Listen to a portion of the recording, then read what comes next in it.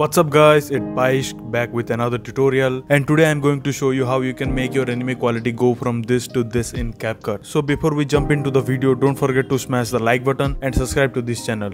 Alright, so first import your anime clip into the CapCut and make sure to use high quality clips because the better the quality you use, the better your coloring will look. Now once your clip is on the timeline, head over to the filter option and add the enhance effect and increase the value all the way up to 100 and after that next add an adjust layer and copy my exact settings.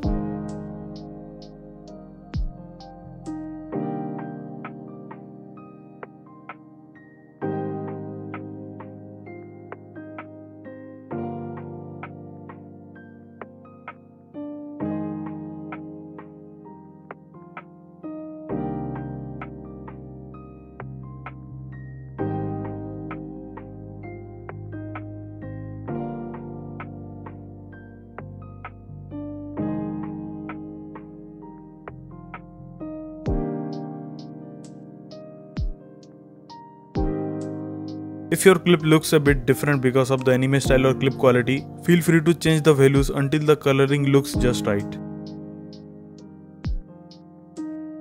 Now after when you are happy with the coloring, preview your clips and when you are satisfied with the result, export it in high quality. And for an extra boost, you can also use any mobile AI enhancement app to improve the quality even more.